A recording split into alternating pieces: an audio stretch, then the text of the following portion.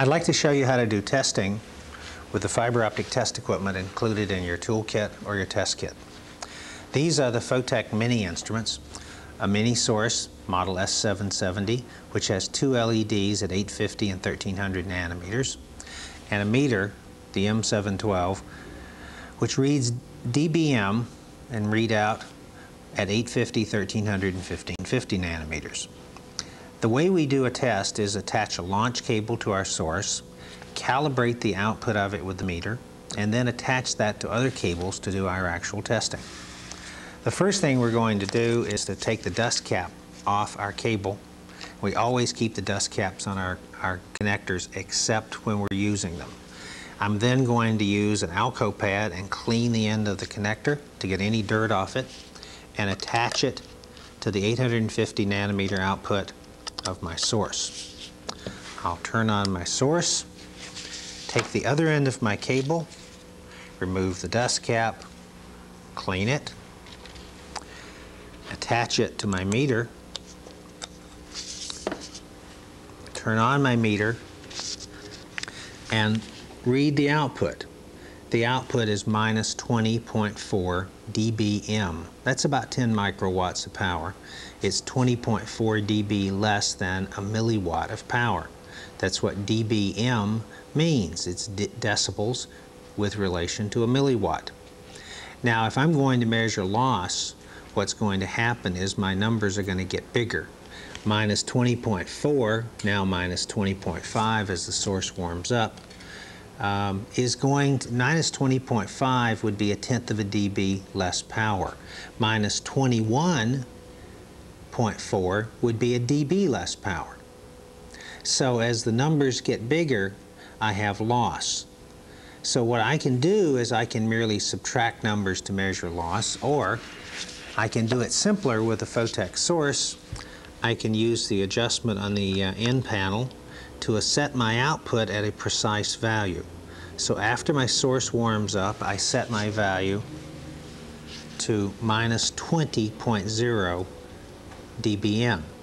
Now, whatever I measure makes it easier to test loss. Mostly I'm going to be measuring loss of a few dB, so it's not going to be big numbers.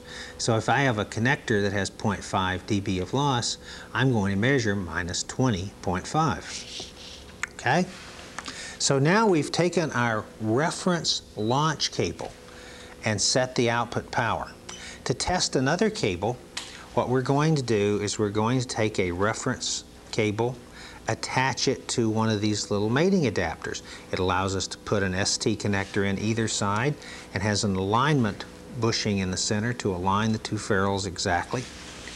So I remove my launch cable from my meter. I do not remove my launch cable from the source.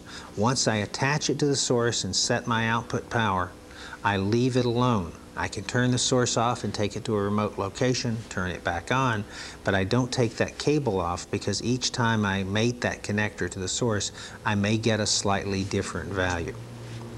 I take the output of my launch cable where I know I have light coming out at minus 20.0 dBm. I attach that to one end of a mating adapter.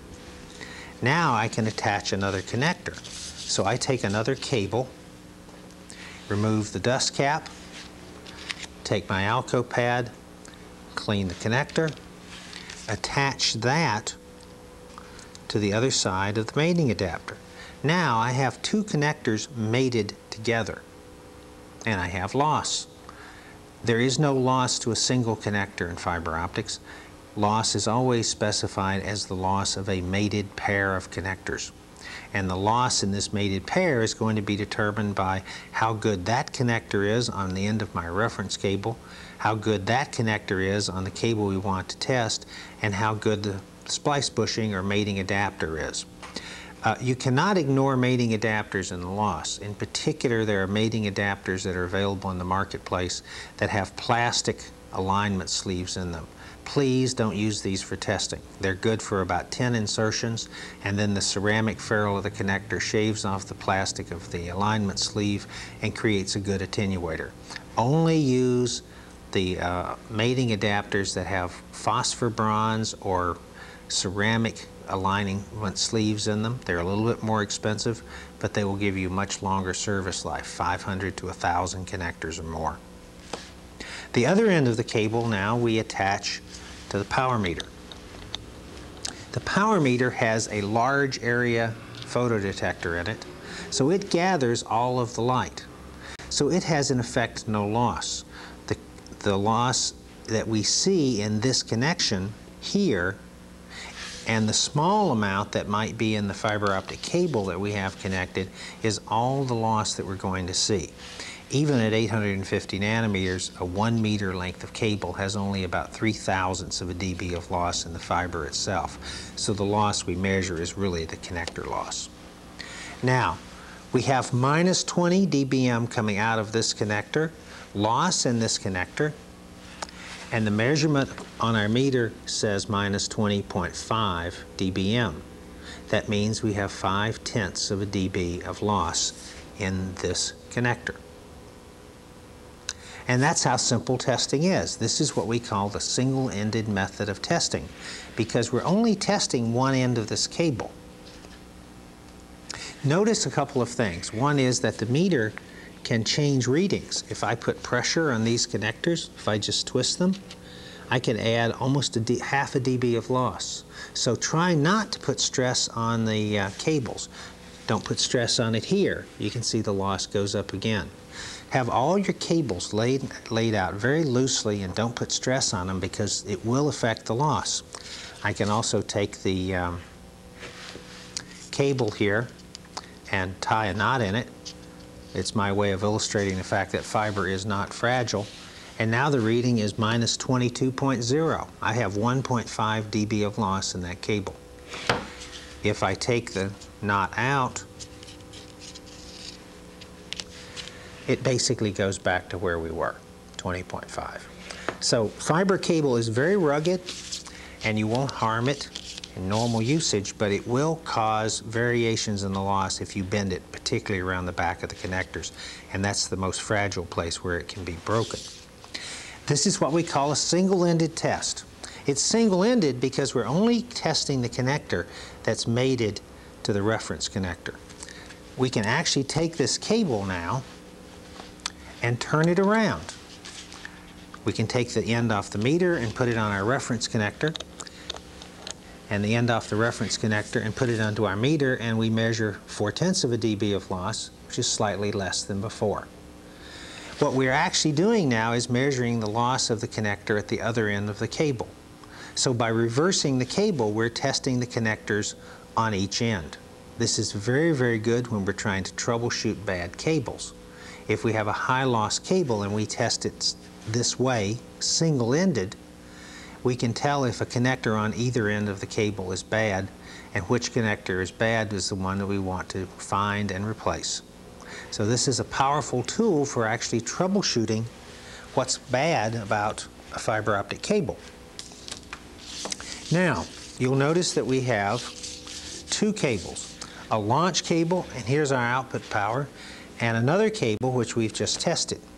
When we test cables installed in a system, the network cabling in a system, we test not single-ended, the way we're testing here, but we test double-ended.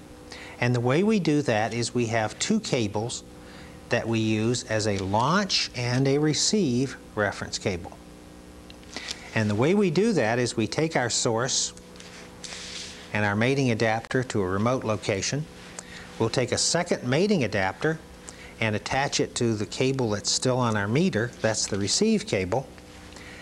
And then we can attach yet another cable in between these two and measure it. So here's another cable. We'll take the dust cap off, clean the connector, attach it to our launch cable, take the dust cap off the other side, clean it, attach it to our receive cable. Now, what we're testing is the connectors on both ends. We know how much light is coming out of our launch cable. We have a loss here in this pair of connectors. We may have loss in this install cable, and then we have loss in the second connector that's attached to the meter. So we're measuring the loss of both connectors and anything which might be lossy in between, like, for example, a long end length of cable. When we measure this, those two now, we measure uh, the sum of both of those connector losses in any of the cable. In this case, it's 8 tenths of a dB of loss. This is what we call a double-ended test because we're measuring both ends of the cable we're testing. This is the cable we're testing. We're testing the loss at both ends plus anything in the middle. We're using a launch cable and a receive cable. This is what's called a double-ended test. And this is how it's specified that you test the cables that are installed in a building, for example, after you install them. This is the way network testing specifications are all written, and you have to make sure of one thing, that you always set your reference with one cable only. Some people have misinterpreted old standards to say that you set your reference with a launch cable and a receive cable to do this double-ended test. That is wrong. All of the standards, EIA TIA 568 Appendix H, the test standards for gigabit Ethernet, the test standards for lots of other networks are all written around the fact that you measure the output of the launch cable for your reference standard.